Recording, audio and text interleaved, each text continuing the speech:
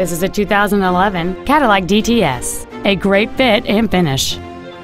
It has a 4.6-liter, 8-cylinder engine and an automatic transmission. Its top features include an air suspension, a moonroof, heated front seats, chrome wheels, and satellite radio. The following features are also included a low tire pressure indicator, traction control and stability control systems, high intensity headlights, leather seats, performance tires, an engine immobilizer theft deterrent system, an illuminated driver's side vanity mirror, OnStar, memory settings for the seat's positions so you can recall your favorite alignment with the push of one button.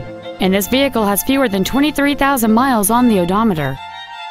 This Cadillac has had only one owner and it qualifies for the Carfax buyback guarantee.